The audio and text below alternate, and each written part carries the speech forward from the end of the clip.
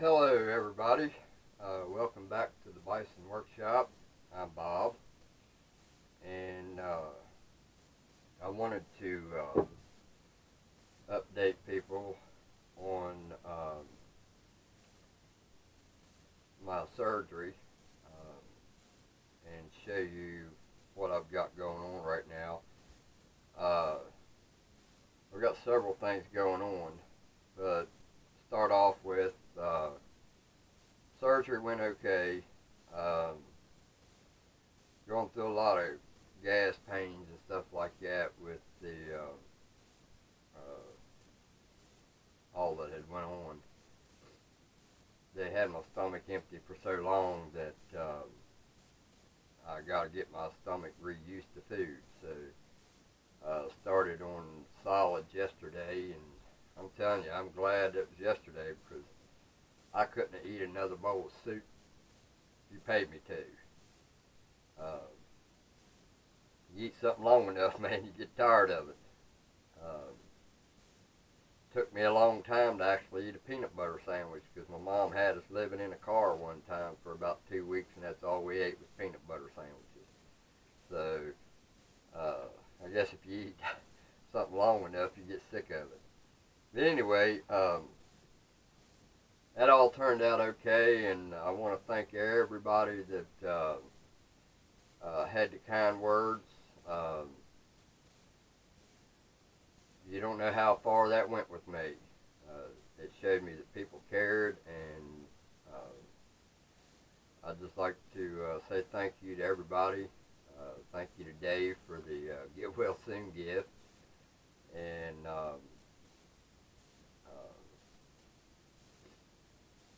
I guess we'll go ahead and get to the next pro or to the project at hand right now. I'm just trying to take it easy today, so I thought, well, I need a set of soft jaws for the four jaw chuck, and I think that the soft jaws that I make for the four jaw chuck may or may not uh, fit the three jaw chuck. May have to make a set for them too, but. Um, I've already started on it, but uh, I got to the point where, excuse me,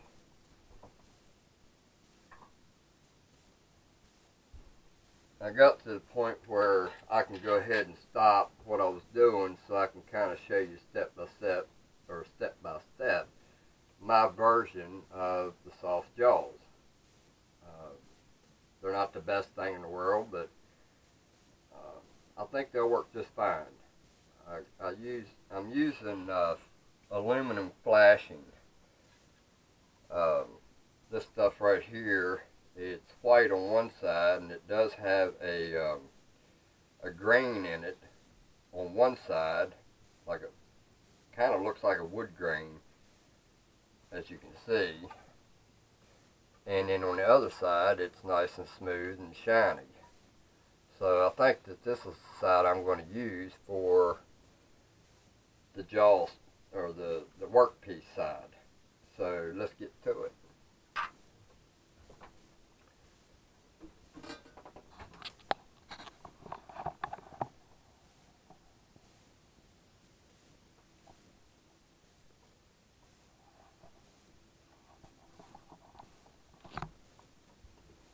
Alright, what I've gotten so far is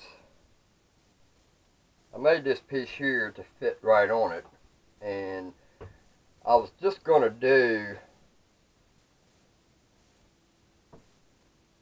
to here but I kind of had a um, I kind of agree with Chris B B257 that I'd like to have all of my jaw uh, you know the, the whole length of the jaw covered with this piece right here. So uh, basically what I started off with was a piece like this right here. And then I cut it like this right here. And um, I mean you can see how thin it is. It's, it's not the heaviest stuff in the world, but I don't think you need anything heavy.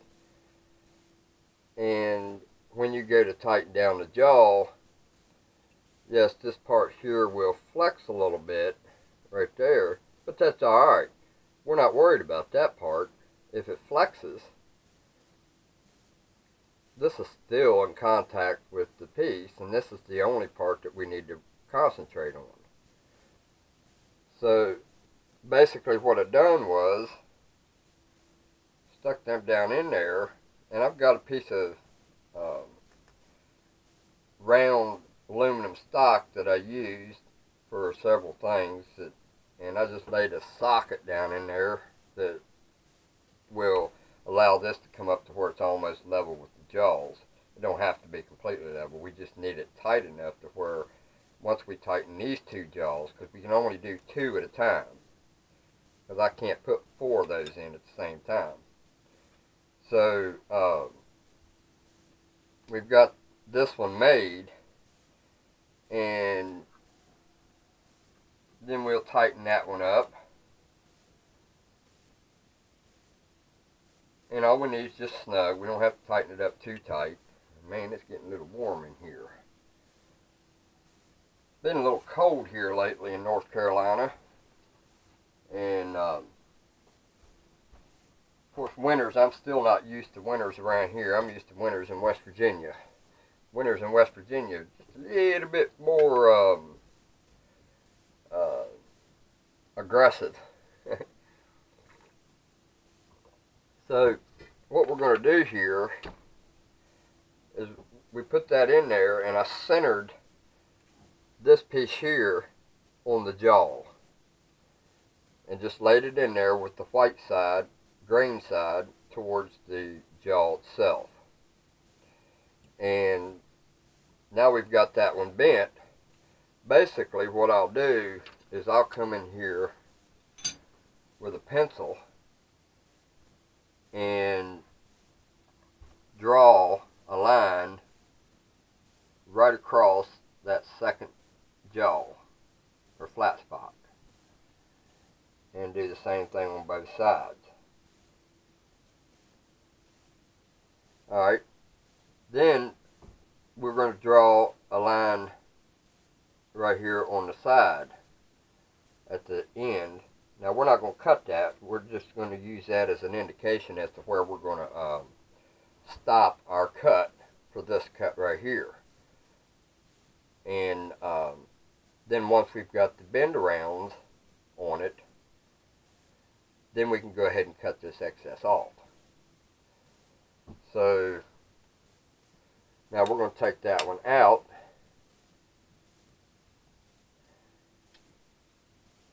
And then, as you can see, we've got our line right there where the jaw is, where our bend around is. So, basically what we're going to do is cut this piece and we're just going to judge it. If I got you in here correct we're just going to judge where that is. And we're going to come up just a little higher just in case my pencil was level with the uh, the jaw. And then we're just going to cut that all the way up to the line. But you want to be careful you don't want to go too far past the line. You want it to where when you go to do this cut right here make sure I'm doing right here yeah we're going to take and cut this right on up to that line or the, the point Alright, we want we don't want to go to where it's starting to cut into the other piece. When it starts twisting like that, you've got enough material to where all you got to do is just break it off. And then we're going to do the same thing to the other side.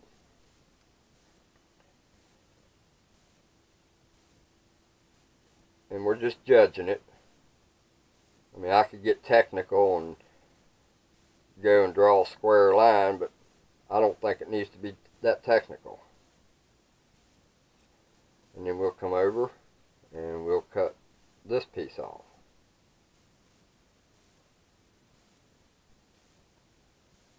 And you see how that see how it's starting to turn? So that one went I did perfect on that one. Alright, so now that we've got that, now we're going to take our needle nose and we're going to go actually that's a bad needle nose. Let me get another pair of needle nose.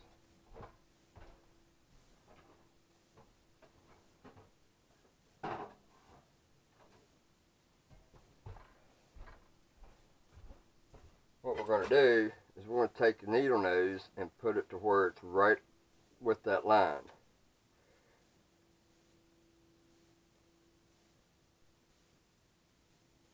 just like so. And then we're just going to kind of bend that around a little bit so that it'll fit tight on the jaw.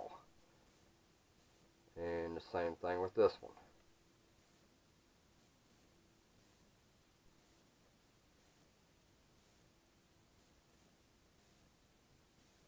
And then we're just going to take and bend just like that so it's a little bit past square. That way it fits tight on the uh, jaw. Now remember, when you tighten it up on your workpiece, it's going to flex out anyway. So just, we're just going to go just a little bit past, just like that. Alright? Shaking today for some reason. And then we're going to set that down in there, just like so. And then what we're going to do is, as you can see, we've got this here cut starting from this first circle in the jaw. And then it'll come up to here. So we're going to put a mark there, and then we're going to put a mark right at the beginning of our first circle. And that's where we're going to cut them. And we're going to do that on both sides. Alright, now we'll go ahead and pull that back off. And if you can just imagine a line right here going straight down to that one. And the only reason I've done that was just to make it look a little neater.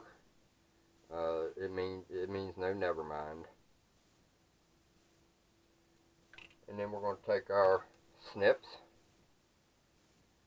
and we're going to cut that clear up to that other cut spot. And then we're going to twist it off. Now, after I'm done with this, I'll take my file and file the corners and round them and make them so they're not sharp.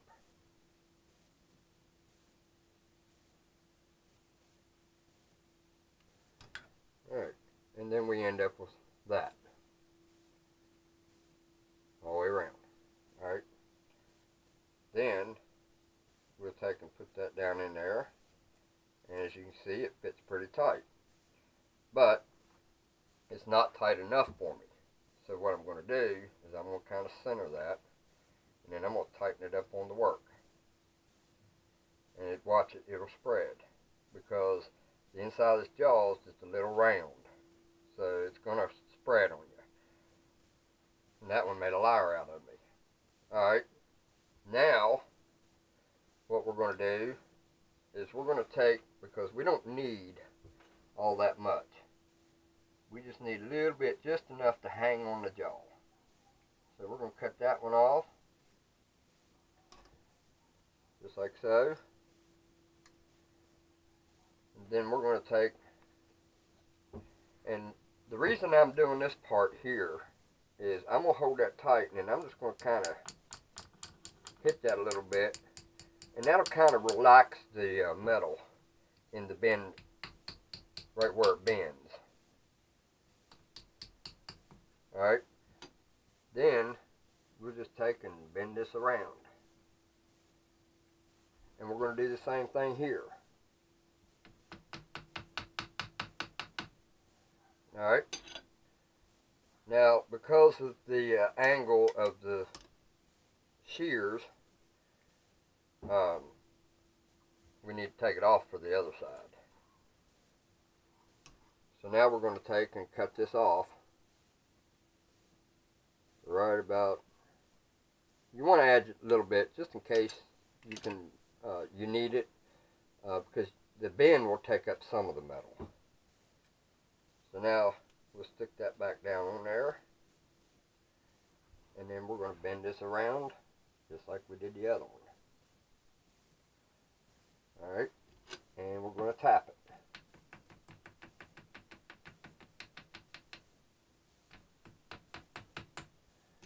Alright, now they're a little tight, but they'll loosen up eventually. Now, and there's our next one. Now see what I meant by the extra? We got a little more on this side than we got on this side. That's no big deal. We can just judge it a little bit. And this is only for neatness. Now we've got it even. Now, because of everywhere you cut, you got some sharp edges. So basically all we're going to do is take a file and just file that a little bit. And that'll make it look a whole lot neater.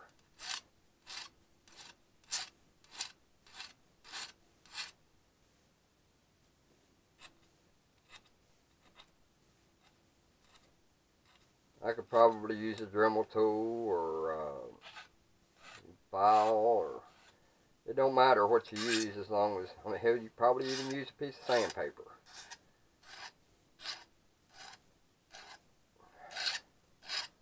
And we want to go around and get all them sharp edges and just bring it down to where it's nice and smooth so that when you run your finger across it, it don't cut you. And you can go around all these corners and just kind of bring them down a little bit. Same thing with these corners.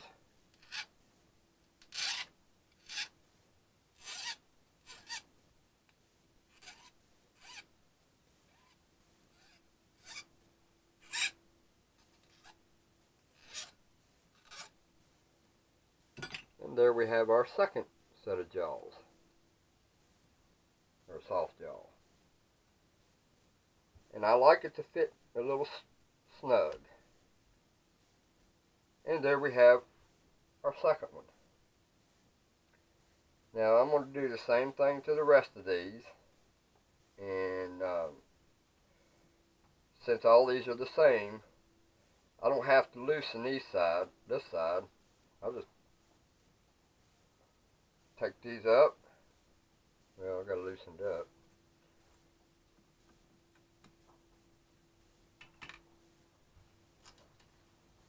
We got one. And we got two.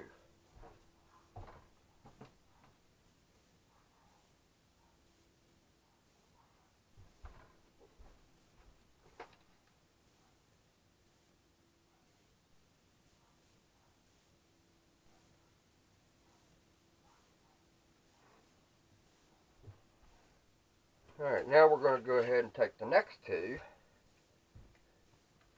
And I hope I got you all in the camera. And we're going to set them in there.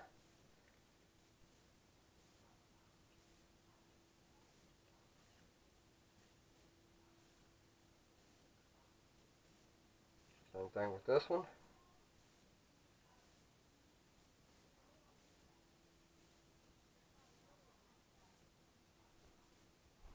I got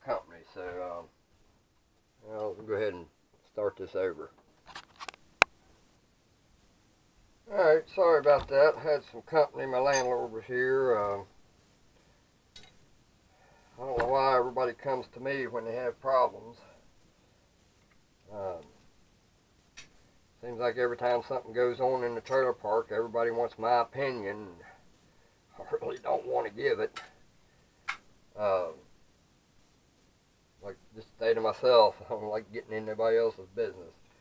But anyway, that's neither here nor there.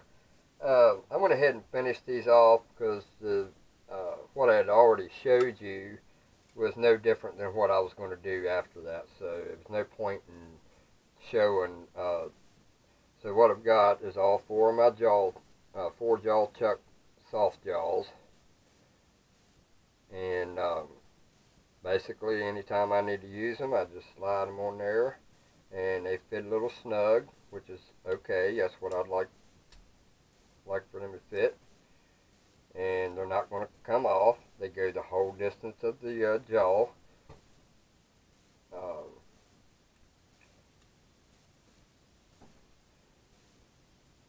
and we'll put them all on there.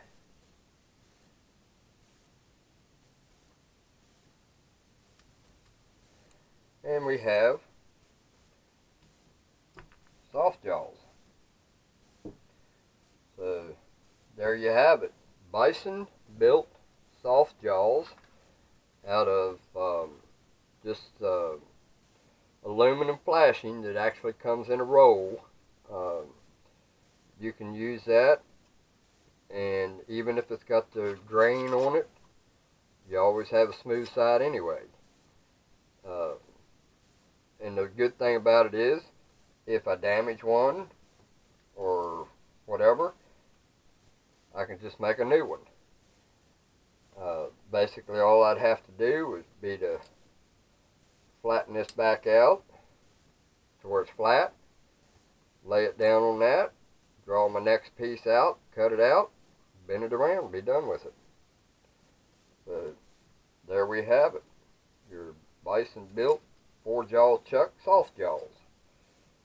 And um, I guess that will end this uh,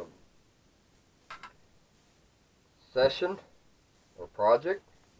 This is one project down I've been wanting to do and um, we got a few more projects I want to do and uh, we'll uh, continue to try to make new videos. It's a little hard to make videos when you're supposed to be recuperating but I, just couldn't sit in the house no longer and um, do nothing. You know, got a blood test back the other day, and doctor called me up says uh, we found a problem in your blood. You got an overactive uh, thyroid gland. Well, if it wasn't for them saying that it could kill me, I wouldn't have worried too much about it because I, I, I'm not one of them people that I, would rather be dead than to be a big person. Uh, no, I'm not putting down big people. Big people are just as good as anybody else, but you know it's just my preference. I don't like the idea of being a big person, so uh, I'm fine with being over having an overactive uh, thyroid gland. It's better than unactive slow. Anyway, um, you guys have a good one. Later.